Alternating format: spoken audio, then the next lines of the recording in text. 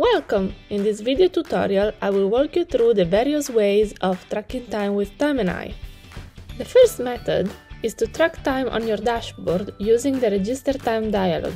Make sure you select a project and a phase as these fields are mandatory. By clicking on Start Timer, an active timer will automatically appear in your calendar.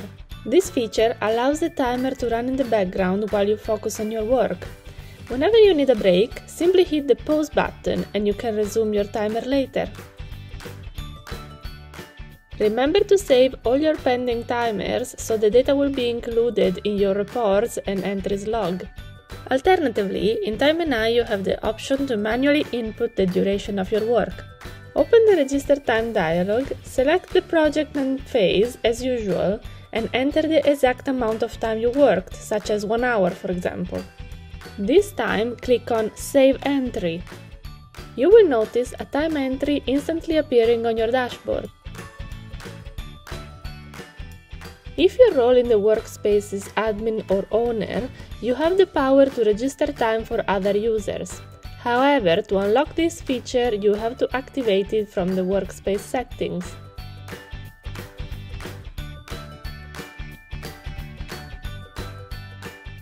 Then, by clicking on the downward arrow in the Register Time dialog, you can select the specific user for whom you wish to track time.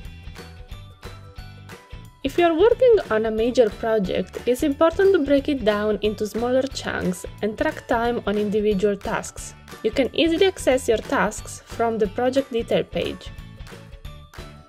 In this case, simply click on the blue Add Time button to open the Register Time dialog.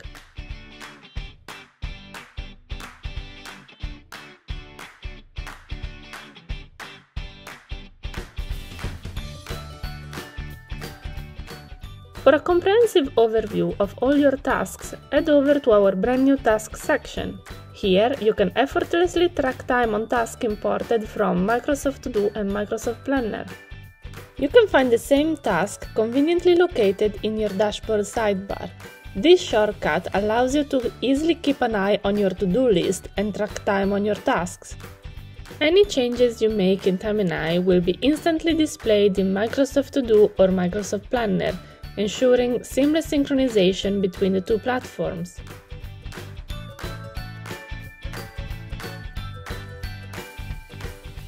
Lastly, add the Timeneye widget to your browser for effortless time tracking in Microsoft Tools, Web and other apps. For example, if you want to track time directly from Microsoft Planner, navigate back to the dedicated integration section. Next, install the appropriate widget for your browser.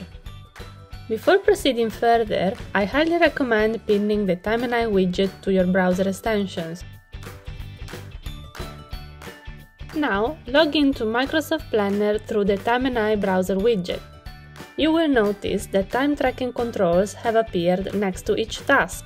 To track time on your task, simply click the blue button to open the Register Time dialog. Once you start the timer, the time will be immediately reflected on the Timeneye dashboard. Any changes you make in Timeneye will be instantly displayed in Microsoft Planner, ensuring seamless synchronization and up-to-date reports. That's it for today. One last recommendation.